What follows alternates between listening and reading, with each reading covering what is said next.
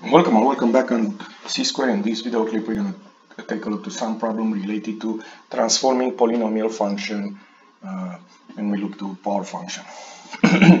so these are the transformation we can see for any polynomial function, but here we, we look into the, the parent graph, uh, what is it called, y equals x cubed, right? So if we subtract a quantity, right, and the graph, the parent graph will move down. You see if we add, it's going to move up. Now be careful here, we subtract inside of the parentheses, it's going to move right. If we add, it's going to move left.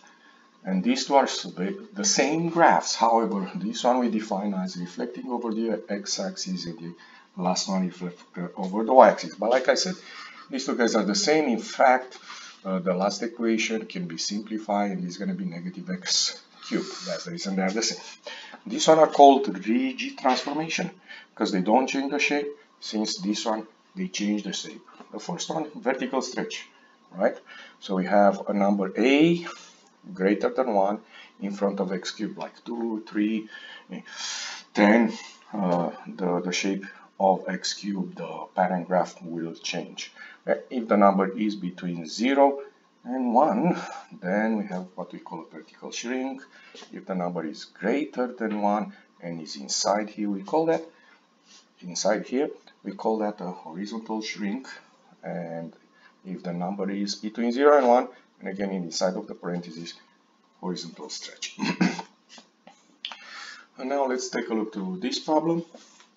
Uh, apply what we've seen on the previous slide. Write an equation of the graph y equals x cubed a vertical stretch by a factor of 6, very important, horizontal shift of 3 units, and uh, to the left, and uh, vertical shift of 7 units. So let's start with the, uh, I think in my opinion, the easy one, the horizontal shift to the left, okay? So to the left, that means where the negative numbers are, and it's going to be x plus 3, right? So this guy is going to move the graph, x cubed 3 units to the left, and uh, then we have 7 units down, minus 7. Now, what about this uh, uh, stretch factor? That goes right here. Okay, so this is the answer. Pause this video clip and try to do number 64.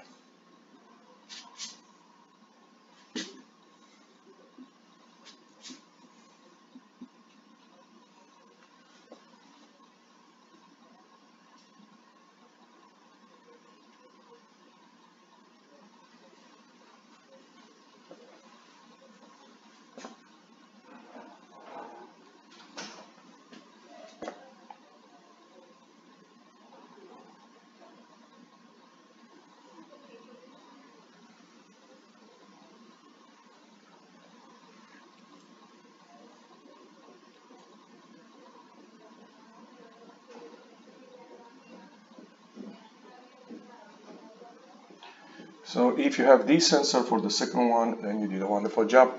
Uh, if you notice, I do have a mistake. I did have a mistake on, on the first one is uh, 6 times the quantity x plus 3 cube plus 7. Yes, 7 units up, it moves. You need to add 7. Uh, and this one, like I said, this is the answer for the second one. And let's take a look at this type of problem where they give us the graph and they want us to determine the transformation that were used to change the graph of the parent function y equals x cubed, right? So if you remember, y equals x cubed is the one that goes like that. This point is here 0 and 0. Okay, so from 0 and 0 here, we go to 1 and 2. That should tells you what do you need to write here? X. Be careful now here. Minus 1 again you move right one unit cube and then you move up. Okay. Uh, now uh, generally I will suggest you to put an a in front and use any of these given points to find a. Uh, in this case uh, we don't need to do that. The a will be 1 you can double check me if you want so the equation for this guy, for number 65, is y equal uh, x minus 1 cube plus 2 okay. Uh, pause this video clip and try to do number 66 the same thing on uh, 66a would be 1 just take a look to the transformation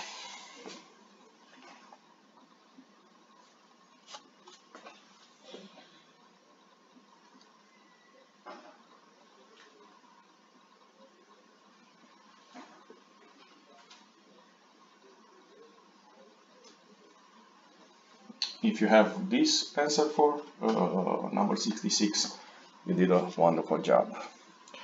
Uh, let's take a look to these two questions. Uh, similar however uh, let's take a look here on something. As I said on the previous slide this is y equals x cube we already noticed this is uh, going down. So that will be y equals negative x cubed is a reflection right over the x-axis. So what will be the equation for the first one? y equal again, I'm going to have to put a negative, open a parenthesis, and this guy here is negative 1 and uh, uh, positive 2, so we're going to have x plus 1, right? I'm just going to move the graph left uh, to the third power, don't forget this, is, this is the parent graph x cubed, and then we have plus 2 because he's moved up. Pause this video clip and try number 68.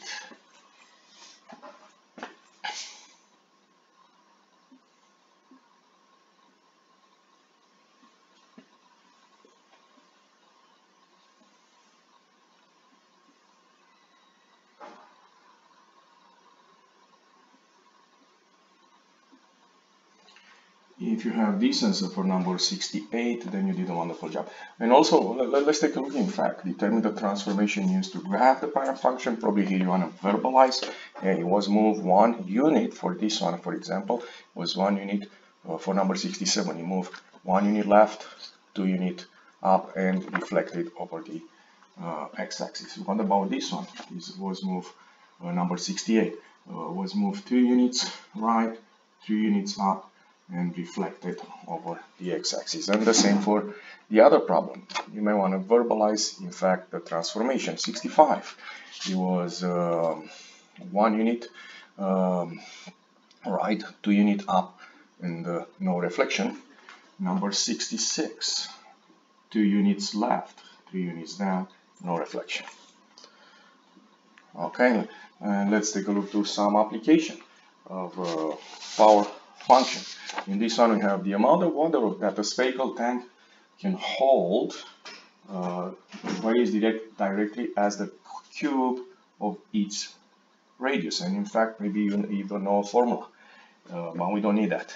If a tank will, uh, a radius of 7.5 holds uh, 1767 cubic foot of water, how much water in a tank uh, with a radius of 16 feet hold. So basically here what they tell us is that the volume varies directly. So I'm going to put here an A, which you're going to find out, times the cube of its radius. Okay, this is the beginning. Okay, this is the first sentence. And in this case, uh, the first case, we have the radius is 7, the volume 1767. So we're gonna have 1767 equals A times 7.5 cubed. So in this case, we need to find A. So we get 1767 equal A. Now we're gonna do 7.5 cube, which is uh, 421.875. We're going to divide by, by 421.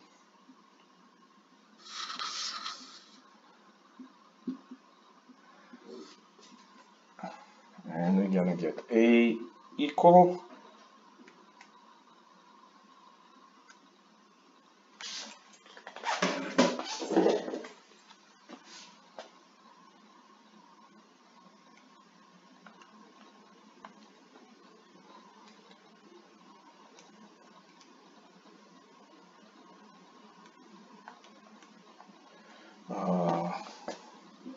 4.188 and so on.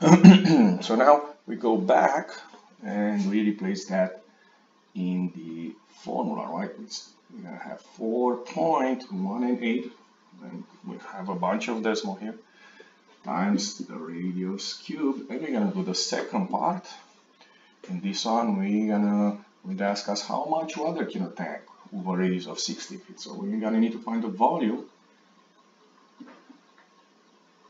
right?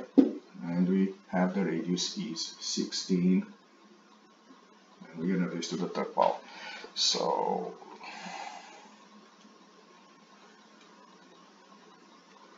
I have a volume of uh, 17,000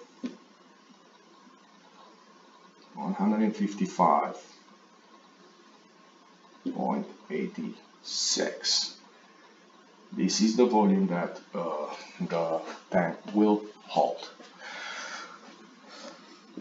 go ahead and take a look on problem 70